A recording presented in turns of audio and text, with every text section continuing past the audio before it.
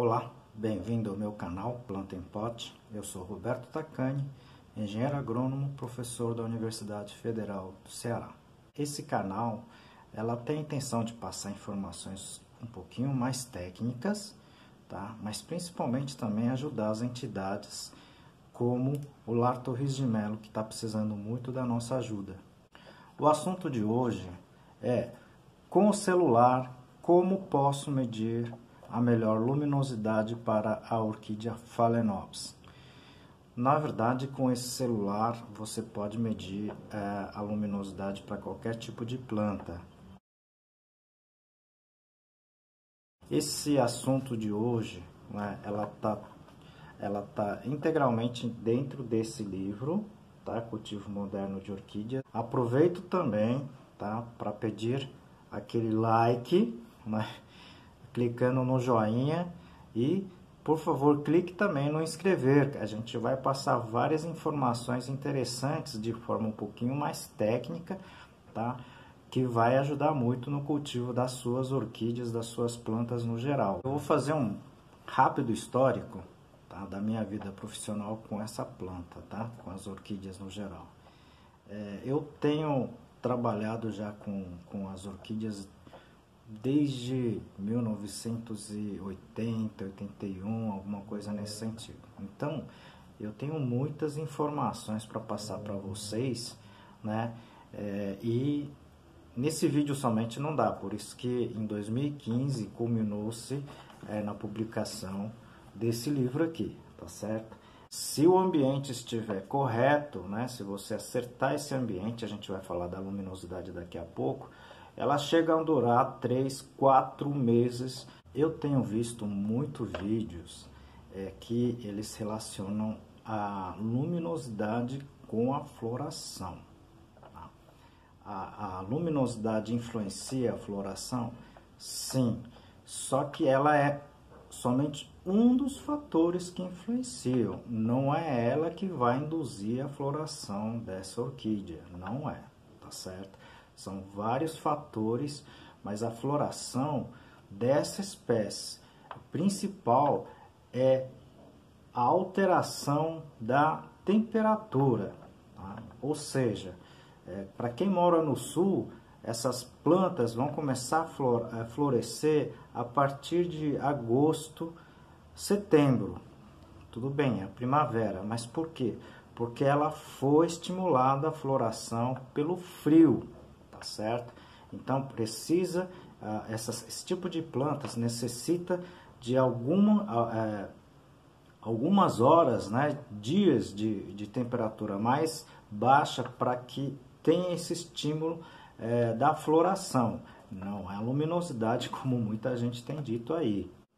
Bom, dito isso, né, é, existem várias outras alternativas para induzir a floração é, das falenopes e outras plantas também, né? Então, esse vai ser o tema de um outro vídeo, porque senão esse vídeo vai ficar muito comprido, tá? Então, aguarde os próximos vídeos, aproveita, dê o like, tá? Se inscreva, porque a gente está passando muitas informações, iremos passar muitas informações. E não desligue, porque o, o importante vem daqui para frente. Tá? A luminosidade ideal, talvez você não consiga em casa, mas se você chegar bem próximo, elas vão crescer e vão florescer.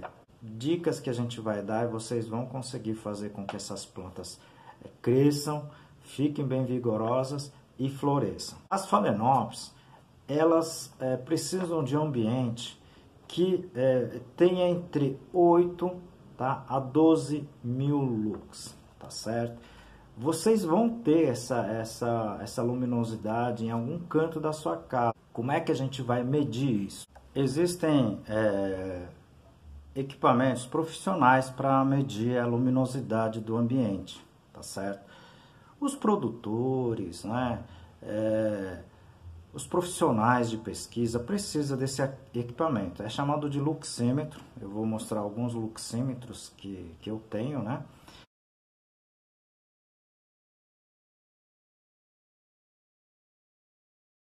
É, mas você na sua casa não tem a necessidade de ter esse luxímetro. Vocês tendo esse aparelhinho aqui, olha, tá certo?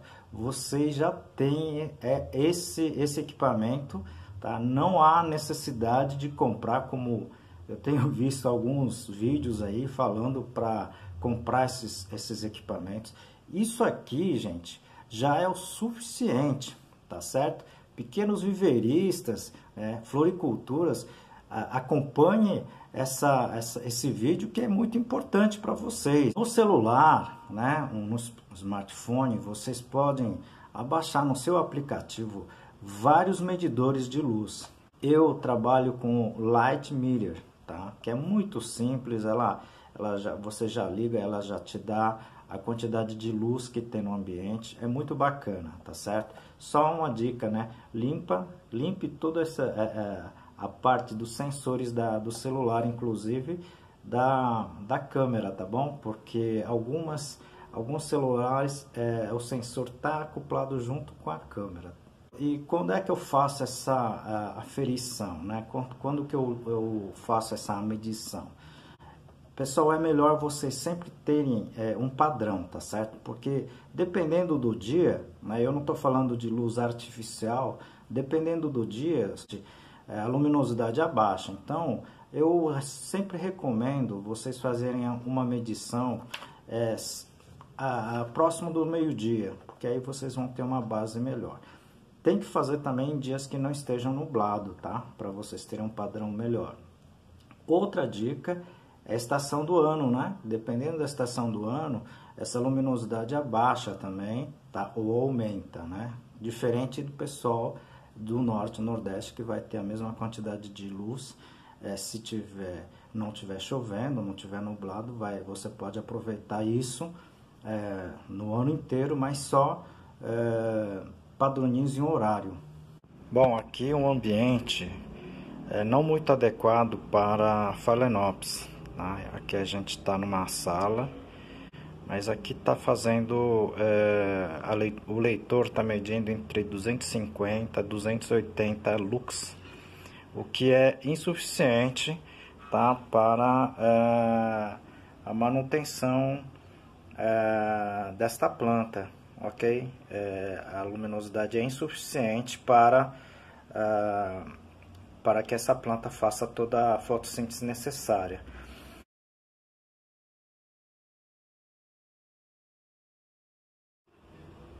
Neste ambiente aqui, é, ela está na área de serviço desse apartamento.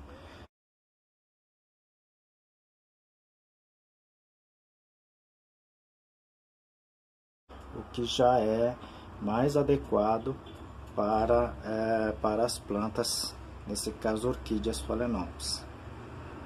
Pessoal, vocês viram que é muito simples, né? Fazer a leitura. Agora, é, esse negócio de não é planta de sombra, né? O que, que é planta de sombra, né?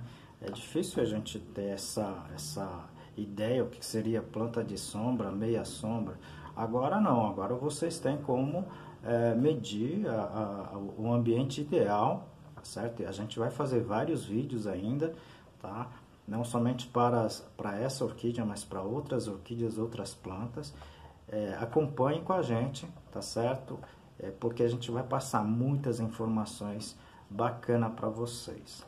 O nosso interesse é passar informação para vocês e principalmente se vocês puderem ajudar essas entidades né, que muito estão precisando é, devido a essa pandemia. Tá? Então peço a sua ajuda para o Lar Torres de Melo. Eles estão precisando muito de é, fraldas geriátricas. Tá? Então eu vou deixar aqui um slide para vocês puderem é, entrar em contato, entre em contato e faça a sua doação.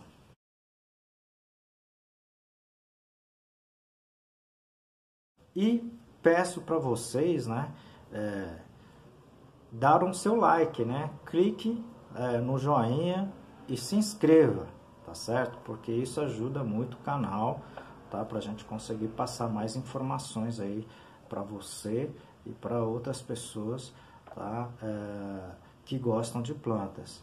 Até o próximo vídeo. Muito obrigado.